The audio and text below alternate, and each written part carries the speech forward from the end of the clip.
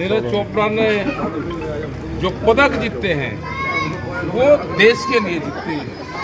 वो ना किसी बिरादरी के थे, ना किसी धर्म के थे, ना किसी जाति के, ना किसी गाँव के, ना किसी स्टेट के। वो है देश के धरोहर। और इसी तरह से जो जवान, हमारा जो बच्चा बाहर से खेल का आता है, जब वो देश से बाहर खेलता है, या कोई भी काम करता है, वो देश के लिए काम करता है। उन्होंने देश का नाम रोशन करा। उनको धन्यवाद, उनके पूरे परिवार को धन्यवाद, गाँव को धन्यवाद। उनके सभी जो साथी थे, उनको सबको धन्यवाद। और वो देश की एक विरासत है और दूसरे बच्चों को सीख मिलती है कि वे भी, हम भी खेल लेंगे और हमारा भी उसी तरह से सम्मान होगा। दिन वो गाँव में आएगा, अभी वे दिल्ली है जिस दिन दो तीन दिन चार दिन पाँच दिन बाद में गाँव में आए तो उसका उसी तरह से उसका फिर दोबारा सम्मान पूरा जिला में ठीक है जी एक किसान के लड़के ने हाँ जी।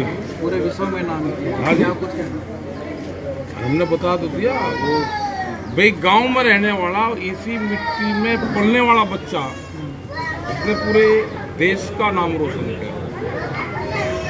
आज उसने अपने गाँव का करा ज़िले का करा अपने परिवार का करा। वो इस तरह के जो बच्चे होते हैं वो फिर वो इनके नहीं रहते किसी के। वो फिर देश की धरोहर होती है।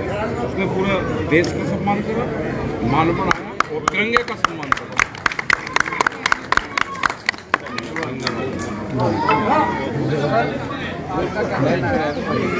लाइव चला दियो बैठ के चलवाओ जी। बैठ के सबने बिठा के। चला रखिए हाँ? जी हाँ जी।